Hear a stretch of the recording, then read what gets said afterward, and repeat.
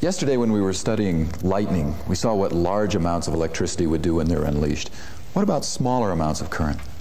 You mean like a flashlight or a dingaling? Uh, what's a dingaling? This is a dingaling. It carries an electric current. It's an electric circuit that current can go around. It uses our Van de Graaff. And first of all, the charge, when we turn on the Van de Graaff, the charges will go up the belt into the ball of the Van de Graaff. Then when there's enough charge on the ball, there's a lightning discharge from the ball to the arm of the dingaling, down the bar that supports the bell and into the bell. Then the charges on the bell pull on the clapper, so it swings towards it. When it hits the bell, it picks up charge, and then it's repelled carries it across to the central bell, and then back along this wire to the base of the Van de Graaff, and around it goes again. Let's fire it up. Yes, good.